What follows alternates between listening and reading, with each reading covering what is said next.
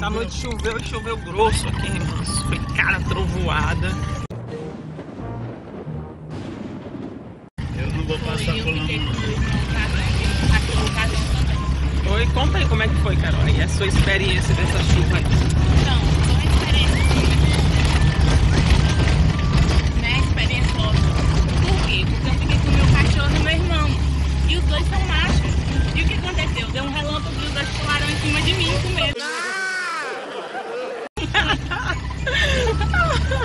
Protegi-me. Aí, ó, isso ficou me proteger.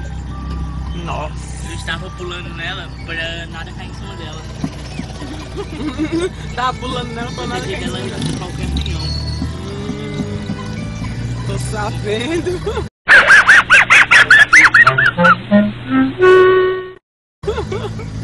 A poça de água lá.